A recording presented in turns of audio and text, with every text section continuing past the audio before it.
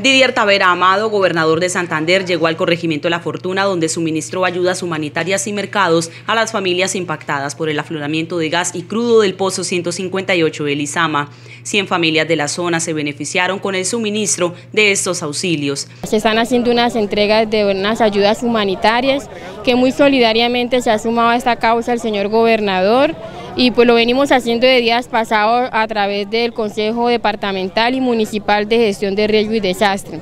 A él pues en nuestra gratitud en medio de tanta tristeza, desolación que nos ha dejado esta calamidad pública ambiental. Autoridades locales y el Consejo Departamental para la Gestión del Riesgo de Desastres acompañaron la benéfica jornada para los damnificados por esta emergencia ambiental.